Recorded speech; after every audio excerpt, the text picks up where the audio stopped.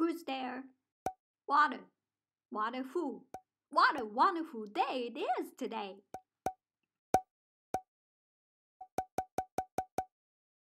Hello, welcome. Please come in.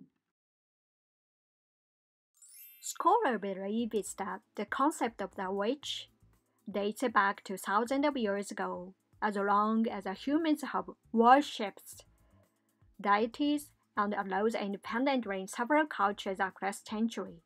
In Greek's mythology, the god, goddess of magics, astrologies, the witches, was a wise woman invested with the power of the trickster.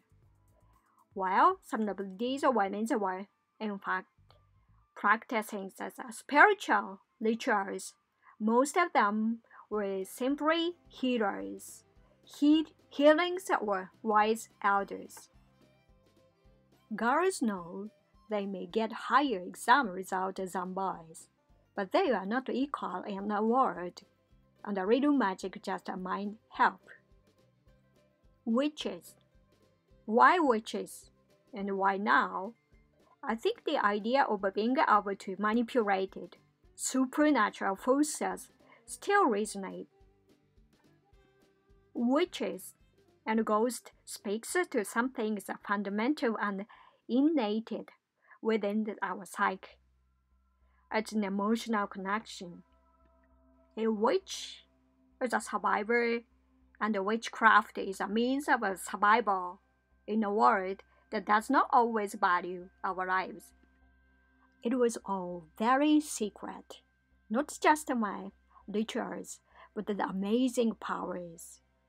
My fingertips, I didn't broadcast it. It was a good excuse for merciless teasings from my elder sister and classmates.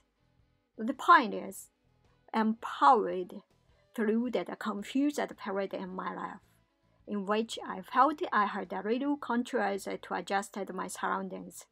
It helped. Past childhood, but not quite teenager. It is a time that when they stopped believing in fairies and Father Christmases, but still believing in magic. Nowadays, when there is often no spiritual guidance at the school in the home, and when science is as poised to answer all our questions. There is no answer to the most important teenagers ones what is love. How will I know when I'm in love? And if people love each other, why do they behave it that way? By the time abracadabra came into English in the 17th century, it was no longer that a physical charm, but with an incantations to protect against evil. Over successive centuries, the word abracadabra lost much of its mystical potency. By the 19th century, it had become the word we associated with conjurers that had gained a meaning of nonsense. There were so few formal public rituals that recognized them and affirmed the gods. It's impossible to say where witchcraft will go from here or what witchy will look like a century or two from now.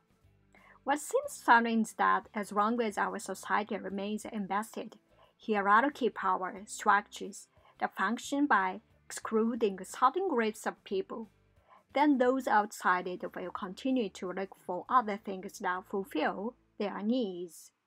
And so long as a tradition of the witch exists, those who struggle to find legitimacy and traditional power structures were almost certain by drawn to witchcraft.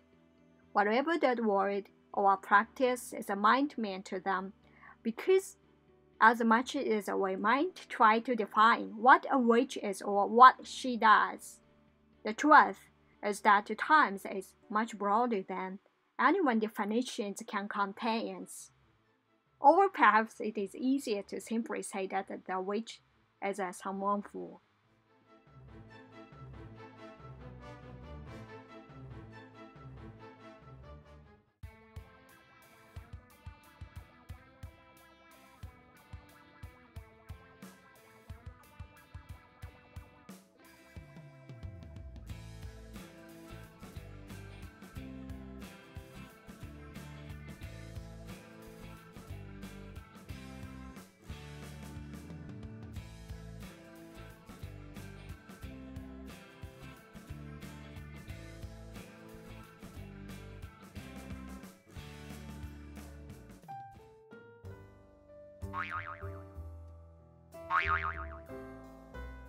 Bye.